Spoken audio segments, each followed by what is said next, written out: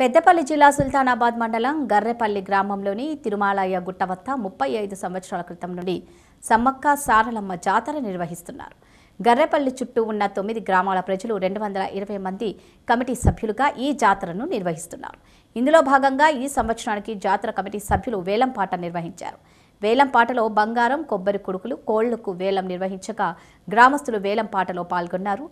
రాజీవ్ రహదారికి అత్యంత సమీపంలో ఉన్న జాతరకి లక్షలాది మంది ప్రజలు వచ్చి మొక్కులు చెల్లించుకుంటారని కమిటీ సభ్యులు తెలిపారు.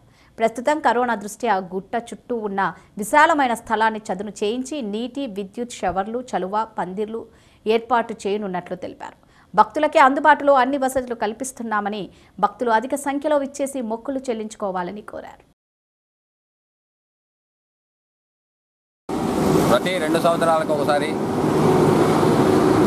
నిర్వహించే తలపెట్టిన సమ్మక్క సారలమ్మ జాతరను మా గ్రామ పెద్దలు కొంతమంది కలిసి మన గ్రామస్తులు వేరే దగ్గరికి పోతే చాలా ఒడిదుడుకులు ఇబ్బందులు ఎదురవుతున్నాయని ఆలోచించి అప్పటి పెద్దలు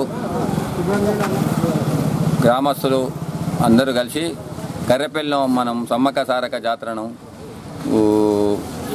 అమ్మవారిని నెలకొల్పి తిరుమలయ గుట్ట వద్ద నెలకొల్పి అప్పటి నుండి ఇప్పటి వరకు దినదిన అభివృద్ధి చెందుతూ గ్రామంలో ప్రతి గ్రామ ప్రతి ఊరు దీనికి కమిటీ దీనికి ఒక కమిటో లేకుంటే ఏదో అని లేకుండా ప్రతి గ్రామస్తుడు ప్రతి గ్రామంలో ప్రతి ఇల్లు చుట్టుప్రక్కల గ్రామస్తులు కూడా దీనిలో భాగస్వామ్యం అవుతూ ఈ జాతర నిర్వహించడం దినదిన అభివృద్ధి చెందుతుంది. లోనే అతి పెద్ద జాతర అయినటువంటి సమ్మక్క సారలమ్మ జాతర వేడరం తర్వాత రంగనాయక స్వామి టెంపుల్ తర్వాత గరపల్లిలో ఘనంగా ఉత్సవాలను మేము రెండు సంవత్సరాలకు ఒకసారి భారీ ఏర్పాట్లతోటి మేము నడిపించడం జరుగుతుంది.